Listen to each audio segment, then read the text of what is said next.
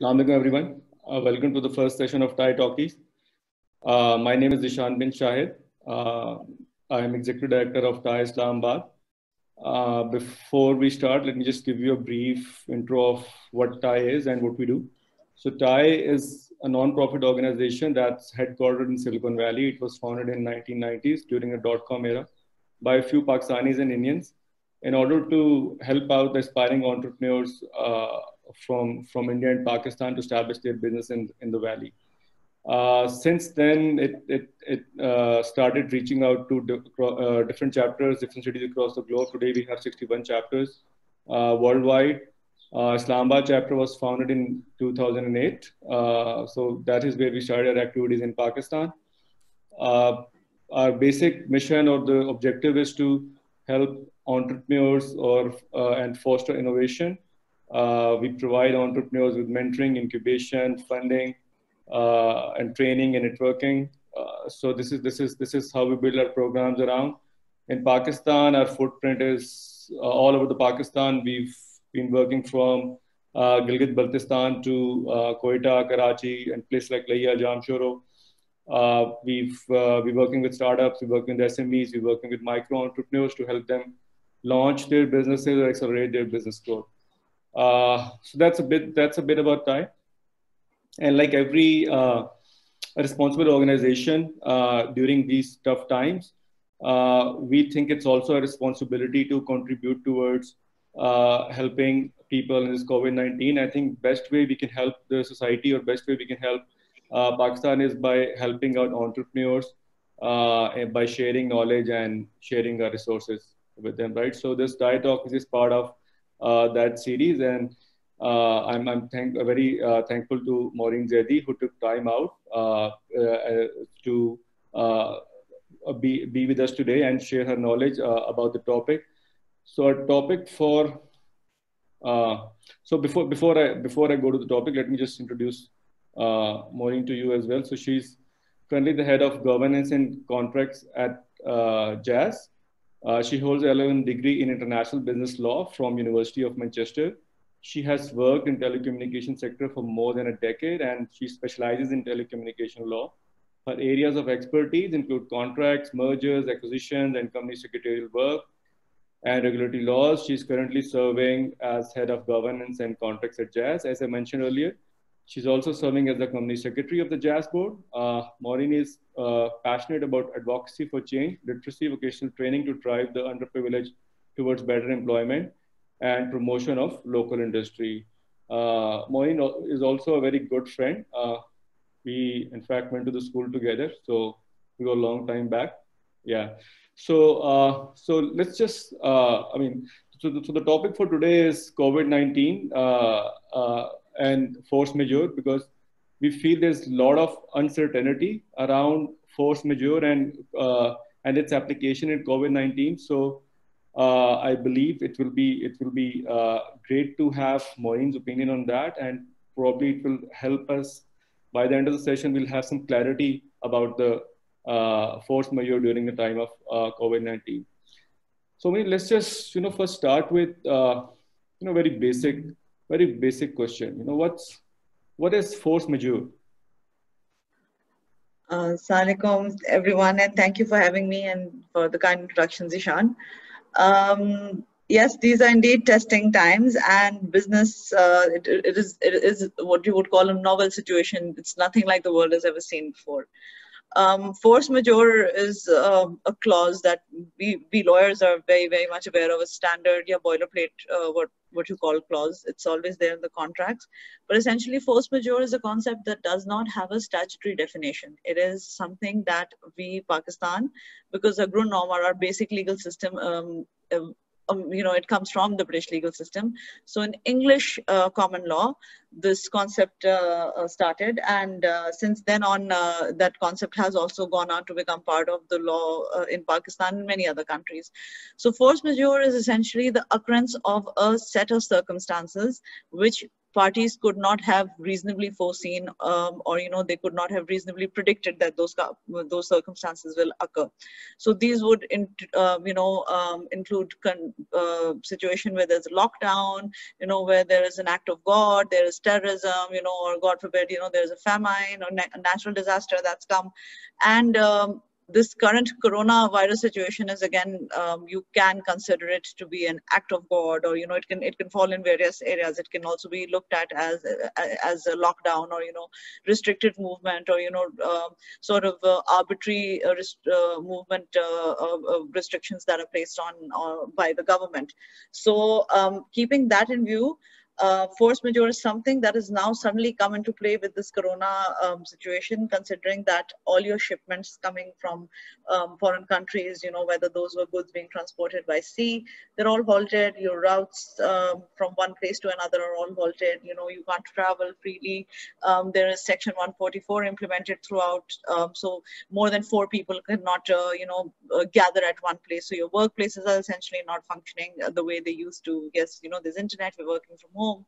Um, you know, a lot of your facilities, your vendors, your services are not uh, performing um, because, you know, they're unable to, you know, uh, the entire, you can say supply chain um, um, is disrupted because things are not moving from the from the starting point so in a nutshell that's uh, the, the, the, way force majeure has applied it applies to the covid-19 situation is essentially you know it's it's it's uh, it's it's a classic uh, application you would say of, of the concept right thank you Moin. so so we'll i'll be focusing uh, you know more towards uh, the application uh, for businesses for smes for small businesses right for mm-hmm. startups for smes so let's just say uh, uh, for force majeure to be applicable, be it in pandemic or be it any other situation, is it necessary to have this clause already built in your contract? Because many of the people many people you know many of our contracts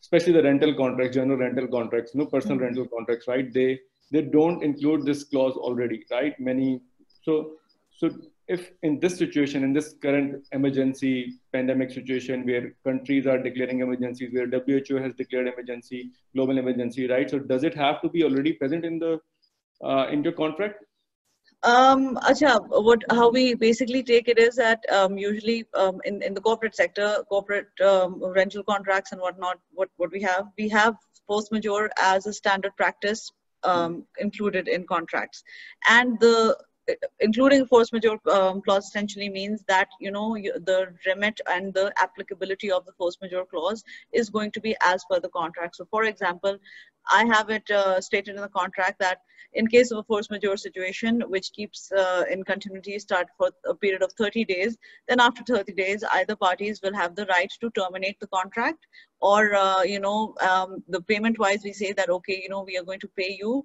um, one party is going to pay the other for services that have actually been rendered rather than the entire contract period which is obviously not going to happen. In an event where there is no force majeure clause um, there is a concept in the um, contract act and the law of pakistan called uh, the concept of frustration of contract so where there is no force majeure clause but a frustration event has occurred which essentially means that something has happened to the effect that the whole point of the the contract has become frustrated. So even then, um, you can say that parties do have recourse to this entire frustration um, uh, doctrine that's there in the law. So um, in case there's a rental contract, now um, rent contracts again um, are, are very peculiar because you know this the, the lessor may be a private party who has rented you a certain space to say for example place your equipment or a storage area or something like that. Now if i have a storage area where i am storing uh, you know my work related like spare parts and stuff like that i cannot necessarily use the force majeure clause over there because you know it that that that uh, that that uh, the purpose of that contract is not really impacted because i'm using that space to to store extra uh, you know spare parts that i have right so corona or not i'm still you know utilizing that space so i cannot stop paying the lessee, uh, uh, you know, the lessor just because you know I uh, a pandemic has occurred. That's the situation. Now, if I have a contract with somebody uh, where I am renting um, a space for, uh, for example, a telecommunication tower or something like that, that is a situation where this may kick in. You know three months i pay the rent in a certain way. For example i'm paying it quarterly or i'm paying it half yearly or yearly rent in advance. After that if i decide not to continue then i can citing force majeure and the 30 day notice period if it's present so it really depends on uh, you know you it's not a you know uh, uh, sort of a getaway clause as it is that you can actually discharge all your legal obligations because the force majeure event is happening all across uh, the the country. Right here's the thing right this this question was going to come a little later but since you've already mentioned it so i'm going to i'm going to ask it now. This this 30 day um, notice clause right how is how does that actually work uh, in, in, in this situation, and especially in, in terms of rentals, right? Because most of the contracts uh, are based on 30, 30 days notice. And in this situation, how, what, what will be what will be the application of force majeure here on this 30 day notice? Um, so, okay, the notice that you're talking about, 30 days, so one, one we have, which is called a termination notice, which if I want to terminate a contract, I will give my landlord a 30 day notice or my, uh, you know, lessee a 30 day notice and say, okay, from here till 30 days, you know, you're supposed to vacate this premises. Um, now, when we're talking about uh, rent agreements, which, and especially, again, it, it depends on whether you're talking about rental agreements in the context of the corporate sector. Because in the corporate sector, we don't have monthly rental agreements, right? We have quarterly or half yearly or uh, yearly advance um, agreements where you pay a lump sum to a certain party and you know you utilize that space. Now for example i have uh, been sitting in the month of april and for example i've paid um, a certain amount of lessors uh, advance rent for three months for the year 2020 now uh, march that rent has finished and my new uh, you know rental uh, uh, payment again number one depends on um, the kind of uh, service for for which i'm utilizing that space. So if it's just a storage area um, you know i cannot reasonably cite force majeure because really it doesn't affect my contract with the landlord right I'm still using the space. Now, if it's a if it's a tower site, or you know, if it's if it's a site that I have rented for you know some office space, or you know, which I no longer need, that is where I can, um, as a, party that raises the force majeure notice, um, has the onus of proving that they have done everything that is in their um, you know reasonable um, control to mitigate the circumstance.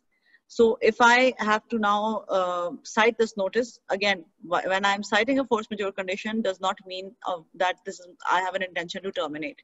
It means that, all right, this event has happened. So I will not be performing my obligations as per the contract because I cannot, I'm unable to, I'm in a position where I can't.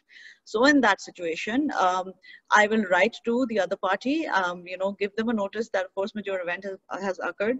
Now, from that date, till the next 30 days. Again if, if this is specifically mentioned in the contract itself in the clause itself. If the force majeure event continues to happen and a month passes 30 days pass then on the 30th day itself either of us will have the option to terminate. Does not mean we can we have to necessarily terminate. We can continue you know we can we can continue uh, this this uh, sort of a you know limbo situation where you know we can continue with this kind of a contract where nothing is really happening and you know both parties get nothing. Um, or you know perhaps we work out an arrangement that in between we can perhaps you know maybe uh, pay part of the rent and you know not pay most of it. But again force majeure or occurrence of force majeure does not mean that termination is definite. Then a proper process has to be followed going forward. Right. Thank you so, so uh, let's just let's just talk about mitigating the risk. How can a startup or a small business, let's say, if, if he or she uh, fails to deliver on his contract due to this due to this pandemic, due to due to this COVID nineteen situation, what are the steps that those businesses they need to take to ensure that they can prove right? I mean, some examples that you know they've they've they've done enough to try to mitigate the risk. How how does that work? Um, uh, that's that's a very uh, tough question, um, particularly because it really um, two ways that you can look at it. One is from the from the aspect of a developed country, where you know you have um, good insurance, uh, you know, uh, mechanisms. You've got, uh, you know, good fallback options. You know, your banks, your, your, you know, if you've taken loans, uh, you know, you get tax leverages. Um, th- there's again the way a first world or a developed country um, and the small businesses or entrepreneurs in, in those areas take these things are different. But in a developing country or a developing economy like pakistan where there's a lot of dependency. For example um, you know a, a big business will have a lot of vendors you know who will be you know performing functions such as security or you know refueling or you know cleaning and all that. So you know while the bigger company may find it easier to survive in terms of you know they've got some fallback options they've got some plans they've got insurance they've got they have the ability to for example have people work from home you know they can cut down on uh, some expenses. But then again those expenses will be these small time businesses like you know uh, companies that provide drivers, you know, companies that provide vehicles, um, uh, companies that provide security guards, and then you know they have all these workforces that go uh, that that that depend on on on these day-to-day um, you know business functions. So for that, um, to be honest, in the first hit that comes in small businesses is to the the the employees right? So then you know this laying off of staff comes on and all. Yes but what we can do now um, the government has taken certain steps. For example um, government has announced uh, that you know you cannot uh, uh, let go of your workforce uh, and you know not pay them any severance pay. So yes the government is taking um, you know steps towards this. But to be honest risk mitigation for an unseen event like this is perhaps in all reality only restricted towards oh you know i cannot give my deliverables because of force majeure circumstance occurred. But as long as you know the money that i have to give to the people that are on the field or if i bought something and it's you know it's a consumable which is now you know um, uh, getting wasted whether i have that insured and all yes in theory that should be there but in practice in a developing country that's barely ever the case so, you know, I would have a vendor who provides batteries um, to, uh, you know, um, certain aspects of my business nationwide, but that vendor would not have had those batteries insured. Maximum he would rely on is the guarantee that comes with that battery, you know. So maybe he can encash on that guarantee, but then insurance in our country, for example, is a bit expensive. So yes, when starting a business, perhaps um, these things should be kept in mind in the in the normal course of business as well. That um, maybe investing a certain amount in ensuring for such circumstances is important. And I think um, this, the, uh, uh, you know, hopefully we will get out of this situation soon. But this Corona pandemic um, would have taught that lesson to to the way business works to you know how how normalcy should when whenever we go back to normal you know people will have to keep these things in mind. Right. Okay so so for the audience i've, I've, uh, if you have any questions you can drop your questions uh, over here on the chat or on the uh, on the uh, on the facebook live. Uh, and I've, I've, tried to base my questions uh, on the feedback that i've recently received from from various people from various various startups or businesses uh, but if, if there's anything missing, please feel free to ask. Uh, we'll, we'll, we'll take question. We'll, uh, we'll, be, uh, we'll take question at the end, right? So, okay, so when moving on, uh, companies globally, you know, are being impacted by COVID-19 outbreak through both the labor market and the, and the supply chain. And these are the, these are the areas that, that are being affected most. So, and, you know, so, so for that very same reason, your scheduled orders are either being not delivered or there are some delivery delays or they're being rejected under the claim of force majeure. You know so let's let's let's talk about the rejected part first. Uh, for example a business uh, a small time vendor or any any any business um, you know has uh, ordered something before this covid-19 and now you know he or she is having to reject the business is having to reject the order due to uh, this this pandemic because probably you know the business cannot pay for the order anymore right? Because they're trying to cut the cost or they're trying to uh, they're trying to reduce the labor cost or any cost right? For for any uh, for any uh, of the cost reason they're not they're not being able to pay for that. So does does does the uh, so the force majeure does it apply over here as well um, again depends on whether they have a contract or not because a lot of uh, small time vendors or small time uh, businesses um, generally um, are uh, in the habit of either signing out whatever the big company gives to them without reading it or they work on a PO basis. You know that a PO is issued which with like four or five lines on PO PO purchase order and you know they'll they'll provide the service so depending on number one, if there's a contract that they've uh, kept, because usually um, the problem is that um, smaller entities don't read contracts. And especially when they get it from a bigger business they will sign off whatever because the big business always ends up saying you know this and you know either sign this and uh, or you know uh, this is non-negotiable. So it's always very very important to read something and understand it. So for example um, if I um, am a, uh, if I run a small uh, business and uh, right now I can't just say, oh, force majeure, sorry, I can't pay, you know, that that that that's uh, it's force majeure is not an air cover for me to run away from my contractual obligations. I will still have to pay for services that have been rendered in actuality.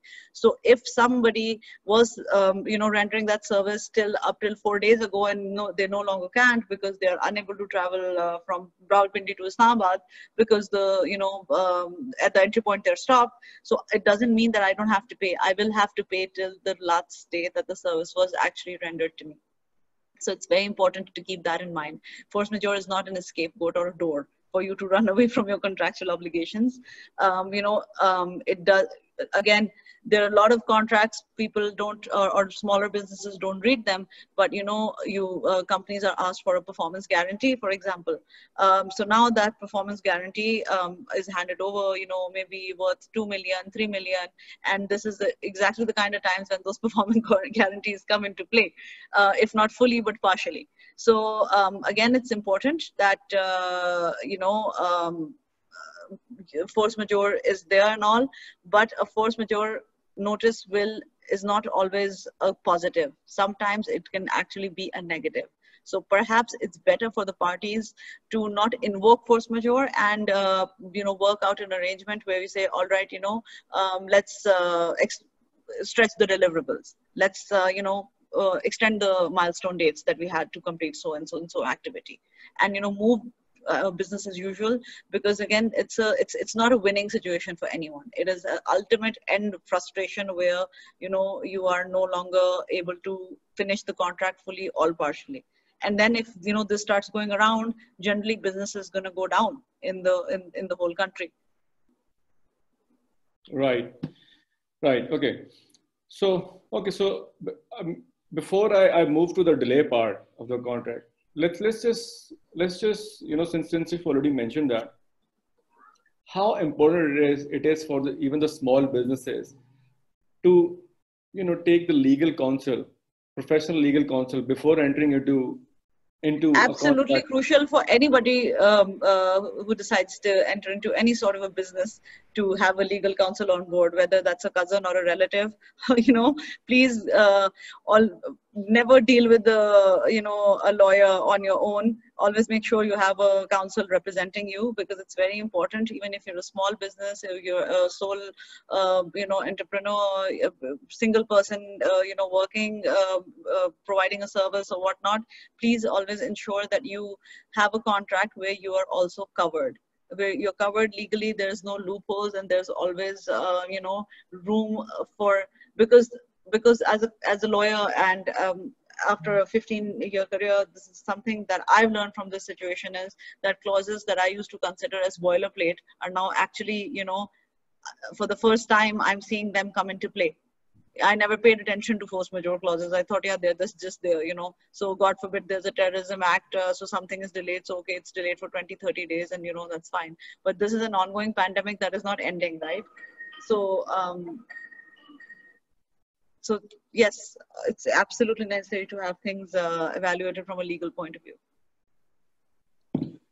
Right. Okay. So let's let's let's uh, right. Let's come back to the delay part. So you know most of the supply chain is disrupted because let's say uh, that that uh, things that need to be shipped. You know there are ships stranded at the sea right now. Ports are not allowing the ent- uh, entry to the ships, or you know mm-hmm. the or there are like there are like different checks that any equipment or anything uh, that's being imported has to go through, right? Or you know, it's be it a seaport or be it uh, a dry port. So, so this means that there are delays in delivery or there are no deliveries at all, right? So how does FM apply in, in, in this situation? I'm sorry. Um, okay. Um, now there's one question where you're asking that where there's border controls and you know things are not being let into uh, one country. So one very uh, the other day I was discussing this with somebody. Actually, a very important part of uh, this COVID uh, situation is uh, for companies and organizations to and countries to be very very careful not to become racist. You know, to basically start discriminating against certain um, uh, you know certain equipment that comes from a certain country or certain region as you know being corona uh, prone so it, it, that's we, we have to make sure that we don't discriminate against any particular uh, you know origin of the doc of, of, of, anything. You know we, we can't just start start like saying oh this certain shipment is coming from china we will not let them come you know? So that that's a very important part of uh, uh, the whole covid uh, scenario.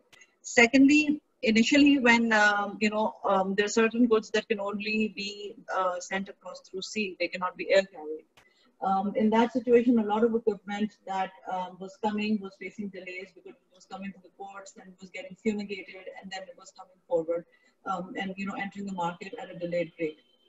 Eventually uh, when you know borders started getting sealed um, uh, I'm not exactly aware of what the situation is uh, globally, but in Pakistan, uh, at this point in time, because our main ports being in the Sindh uh, and Balochistan uh, provinces, Gwadar port is not fully functional as yet for uh, certain uh, high duty equipment. you know, they are, um, but not for like certain um, high priced equipment because of the safety in traveling and moving the equipment from the port to the mainland. Uh, but uh, as far as Karachi is concerned, because of the lockdown situation in Sindh, right now, Sindh, there is, from Sindh port, there is no movement of goods because nothing can really get out of Sindh at this point in time. So, yes, uh, now again the supply chain um, getting affected in the start of the crisis um, in the first two months was different in the next three or four months we are now going to be dealing with a graver situation where certain um, relaxations will have to be made for uh, equipment uh, um, to you know be able to move out of Sindh itself. So countries are generally, you know, medical equipment is going um, through air carriage. So whatever can go through air carriage is still being managed. But things that um, um, hazardous equipment, which cannot be air carried and you know, which or which is very heavy, has to travel by sea. So, you know, yes, proper mechanisms have to be now put in place and focused there so that the supply chain does not get disrupted like this. Right. Okay. So, so what are the what are the workforce obligations? Like, what are the obligations from employers toward the workforce, or how can can uh, can employers use this FM clause uh, to reduce this cost by uh, cutting labor because we're we're all you know know, most of the business are businesses are in, are in this crisis, right? So, how does how does that work for employers in terms of workforce? See, this is a, uh, to be honest, nightmare situation for employers uh, everywhere. I think globally, it's uh, um, no none no employer no entity is now looking to cancel it, its contracts because obviously a lot of business planning goes um, you know when when you engage uh, certain vendors to provide certain services a lot of business planning and a lot of uh, you know hard work and a lot of uh, uh revenue estimation goes behind all of that. Um, at this point in time i don't think any um, you know people uh, yeah, there's a lot of pressure from in the, in pakistan there's a lot of pressure from the industry you know towards you know going towards a sort of a relaxed lockdown or, or you know sort of a you know business friendly lockdown and all that. So yes the the industry generally, um, you know, in Pakistan, um, whether you know that's the agriculture industry, whether that's the telecom industry, whether that's any other industry, is now working hand in hand with the government to provide, uh, you know, ease of business.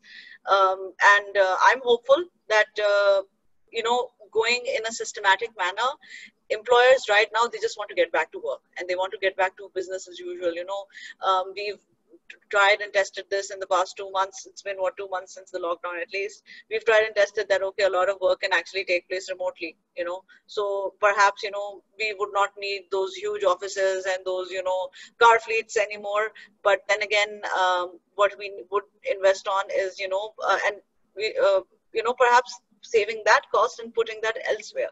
So right now um, is a situation where everybody just kind of wants a systematic manner in which they can continue to run their businesses. Right. So, so this is going to be my, uh, be my last question, and then I'm going to take some uh, throw some questions from the audience your way. Uh, a few questions. So, so what steps that you know that government has taken to bring clarity on this matter and you know help businesses mitigate this risk? And what more do you think needs to be done at this point?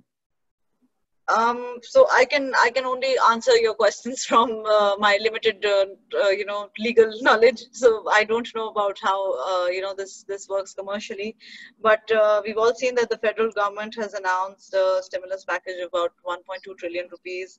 Uh, you know we have major stakeholders in, in, in the business sector who are contributing massively towards uh, this, uh, you know, relief fund for COVID. Um, you know, we have countries that are sending medical equipment, they're sending doctors.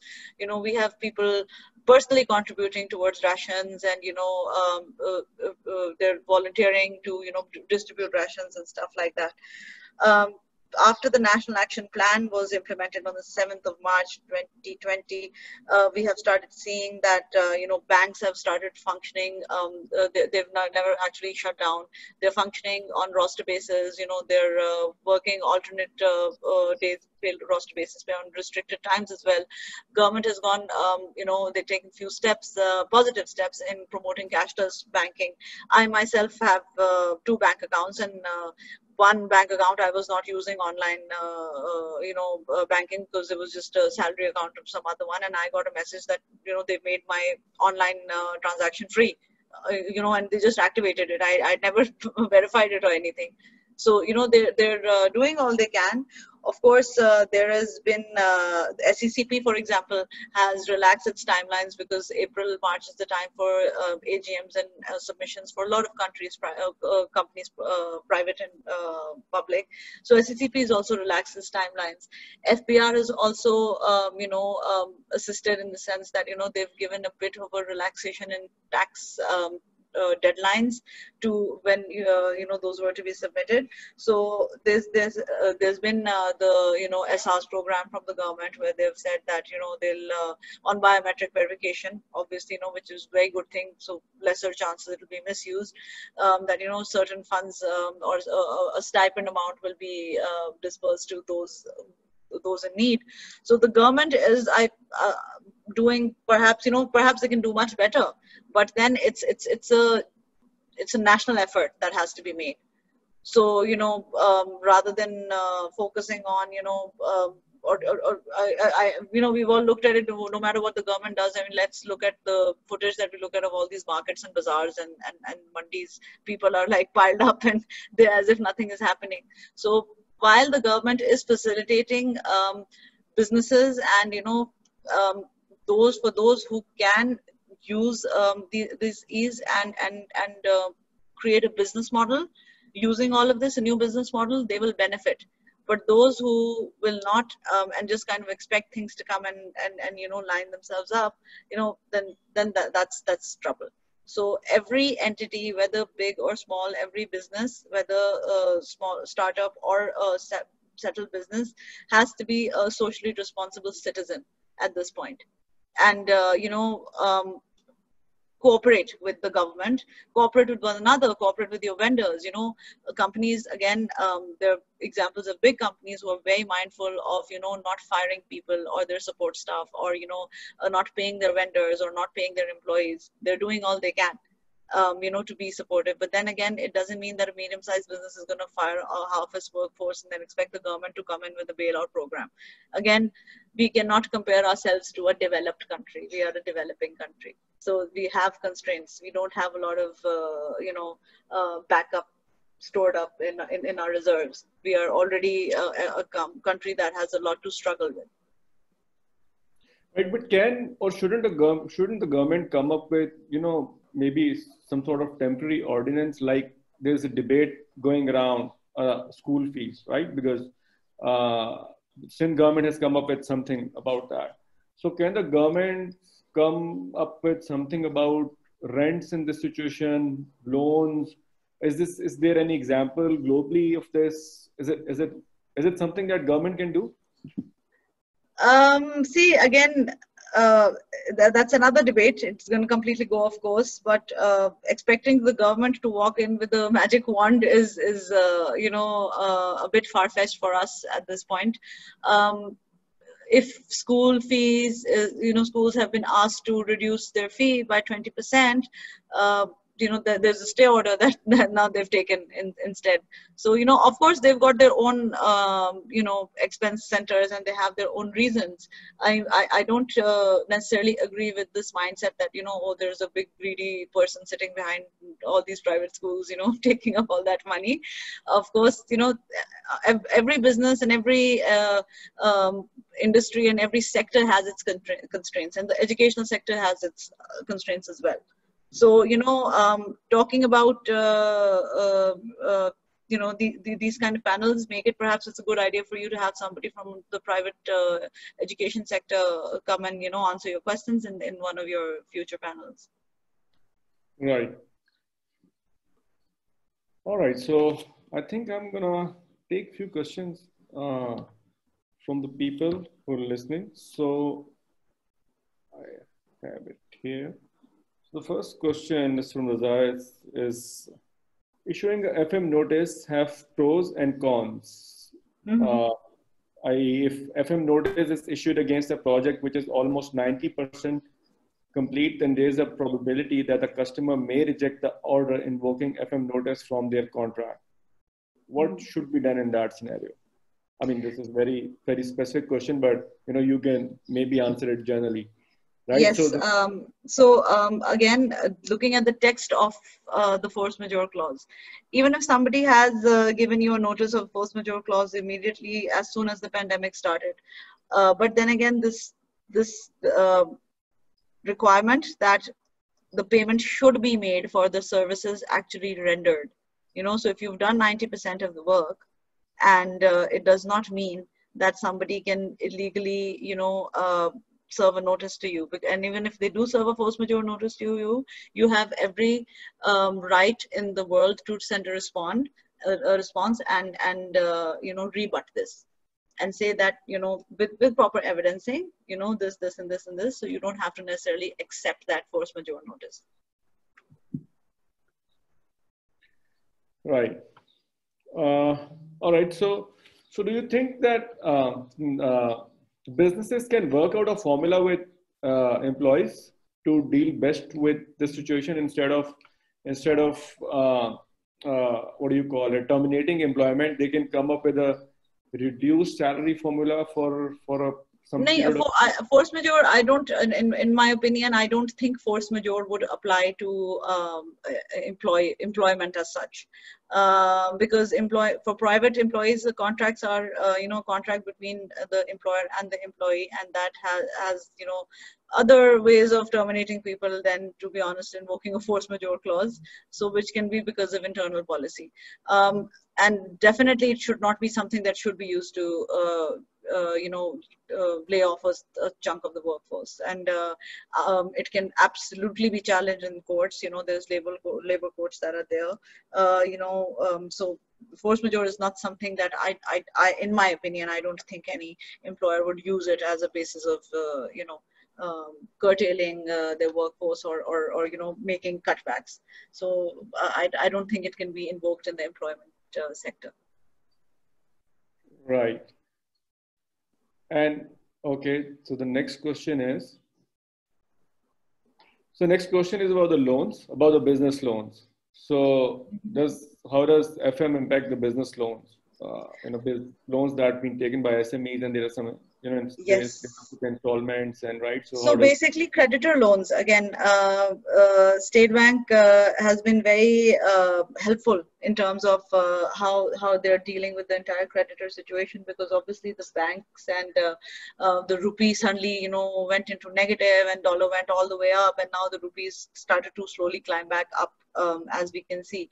Um, force majeure clauses again are definitely present there in uh, you know uh, creditor agreements they're there.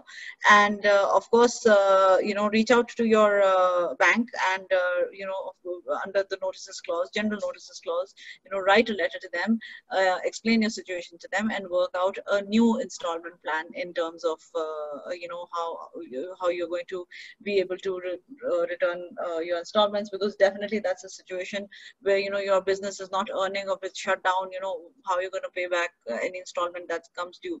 And in my opinion, uh, the banks would not be unreasonable because this is again a situation that does not affect a region or a country; it's affecting the entire, you know, world at this point.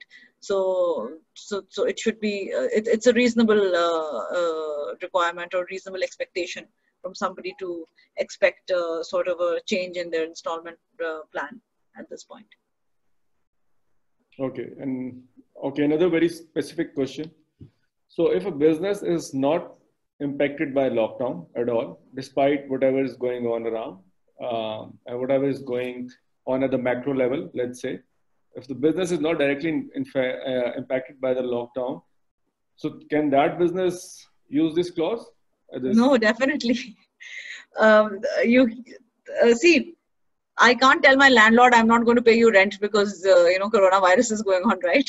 because while it's going on and there's a pandemic, but it's a contract that I have, which has nothing to do, like there is no impact that the COVID, whether I have a job or not, you know, indirectly, whether I can pay the rent or not indirectly because I am unemployed or whatnot, doesn't matter. I have a contract which is unimpacted by this. So that, no, it's a clear cut no. If your business or your transactions nature is not such that is impacted by this pandemic, then you cannot just uh, find like a, an escape door to, you know, run out of. So no, it's not. Unfortunately, that is not the case. Yeah, but let's just take a clear case of uh, something which has a base cost. I mean, every business has renting rent as a base cost, right? But some businesses actually or are in the business of renting, right? Let's say a warehouse. You know, I mean, if if, if you're a cold storage or a warehouse, right? And suddenly, due to the due to the situation, uh, the products are not coming in into into that into that warehouse. You you know? And your business is i mean your revenue is impacted and i mean you cannot i mean you you cannot you, use the revenue to pay the rent for that facility for that space. Even in that case the the the, the tenant cannot uh, invoke the fm clause? No because Ishan again it's the same example I gave you that uh, I'm a person who has a job and because of corona I lose my job. But I live in a house and my landlord asks me for rent I can't say because I'm no longer earning when there's a force majeure situation, I can't pay you rent, right? Similarly, in this situation where there's a warehouse which I can see, um, you know, in six months I'm not utilizing it, there's nothing, it's an extra space that's going on. What I can do or I should do as, as a sensible lawyer is give a termination notice of 30 days that, okay, I intend to vacate these premises um, as per the notice period in the contract and vacate the premises and terminate the contract and, you know, get back uh, part of my security amount, uh, which I am able to get back rather than raise force majeure because it's, it's, it's just, it's not correct. It doesn't make sense it's a, it's a loss for me actually. You know it's a loss for everybody but uh, most definitely for for me who's already suffering from the business. Right. Uh, okay i think uh, there's some other questions. You know they uh, probably we've, we've already answered them during our discussion right? Is is Moin, is there anything else that you you think we haven't discussed and you probably want to add in in this in the session no no i i i'm glad that you know we got very uh, uh, clear and, uh, and very very uh, sort of uh, focused questions. I'm thankful for you have to having provided me the opportunity. And uh, i think we need panels like these to keep everybody engaged and up to date in in, in such times of crisis. Definitely. And and thank you so much for being here with us today taking time out from your busy schedules. I i understand that this this pandemic situation, this work from home situation has actually uh, been very tough for everyone. Uh, probably the work has actually doubled up for many. Um, uh, so it's it's it's, so it's it's uh, it's it's not very ideal situation for everyone. But I think what we can conclude from the discussion today is, you know, which is which was very helpful. Your insights, your your knowledge was very helpful. I'm sure for the business and startups who who are listening. So what we can conclude is that force majeure is there. It can be applied on the uh, uh, uh on this COVID-19 situation. But every situation uh, under this COVID-19 situation is not where you can invoke yes it's, it's a subjective it's a subjective application and you have to really analyze the circumstances and the set of situations and whether it will actually be advantageous or a bigger disadvantage to to do that or perhaps you know it makes more sense to relax your timelines and you know relax your deliverables or you know um, uh, or perhaps even terminate an arrangement then uh, constantly keep invoking force majeure like that because um, number one, it doesn't constantly apply. Um, and number two, uh, you know, it has it, it's it's it's uh, it's it's an absolute uh, last minute uh, uh, you know um, it's it's it's the end. You will actually take this as the last last resort. Right right.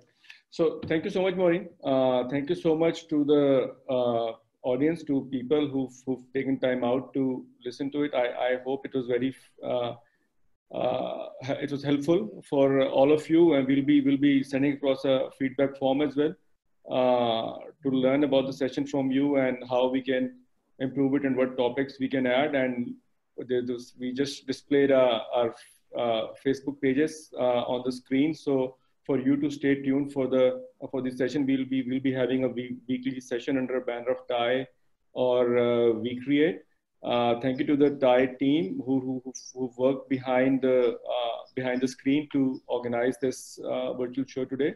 So I think that's that. So we, we will conclude now. Uh, so have a great evening, everyone. Bye. Thank you. Thank you. Thank you. Khudafiz. Khudafiz.